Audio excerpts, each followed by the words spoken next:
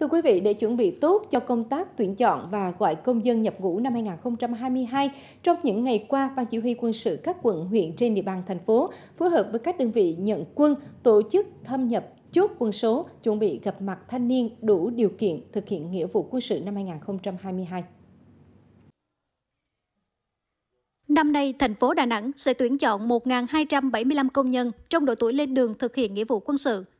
Theo kế hoạch, trong số thanh niên trúng tuyển, có 490 công dân sẽ bàn giao cho 6 đơn vị thuộc Bộ Quốc phòng, 510 công dân giao cho 5 đơn vị thuộc quân khu 5, còn lại 275 công dân giao cho các đơn vị thuộc Bộ Công an và Công an thành phố.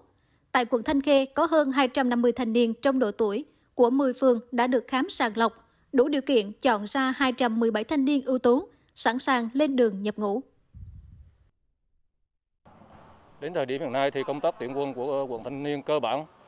đã hoàn thành. Đặc biệt là cái chất lượng trong cái tuyển chọn gọi công dân nhập ngũ năm nay so với các năm tương đối đảm bảo về trình độ văn hóa, về tiêu chuẩn sức khỏe cũng như là tiêu chuẩn chính trị. Hiện nay 100% công dân nhập ngũ đã được tiêm phòng vaccine COVID-19.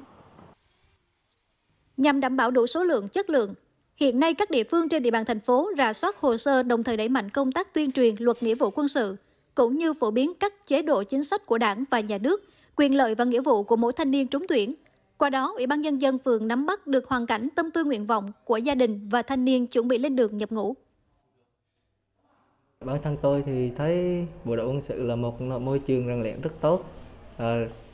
để cho mình ờ, ý chí kiên cường với lại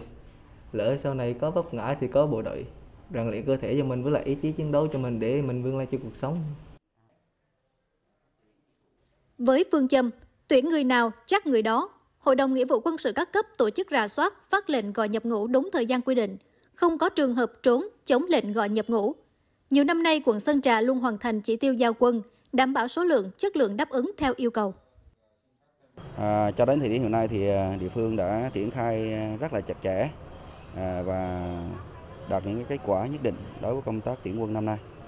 Thì chúng tôi đã ờ, triển khai đến toàn bộ các khu quân chính đảng rà soát thực lực. Ờ, năm nay thì ờ, cái lực lượng thanh, à, thanh niên tình nguyện lên đường thì cũng khá là đông đảo. Cũng nhờ công tác vận động rất tốt từ các cái địa phương cũng như là từ các khu dân cư. Năm nay trước tình hình diễn biến phức tạp của dịch bệnh COVID-19, các địa phương tuy không tổ chức thực hiện ba gặp bốn biết như mọi năm, nhưng công tác thâm nhập hồ sơ quản lý thanh niên trong diện chuẩn bị lên đường nhập ngũ, việc hiệp đồng chặt chẽ giữa các bên giao nhận quân và công tác hậu phương quân đội được chuẩn bị kỹ càng, sẵn sàng tạo điều kiện thuận lợi cho thanh niên yên tâm lên đường nhập ngũ.